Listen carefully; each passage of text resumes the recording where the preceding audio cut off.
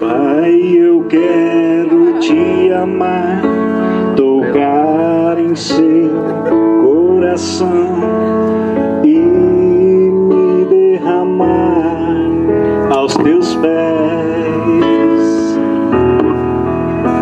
Mais perto quero estar, Senhor, e te adorar com tudo que sou.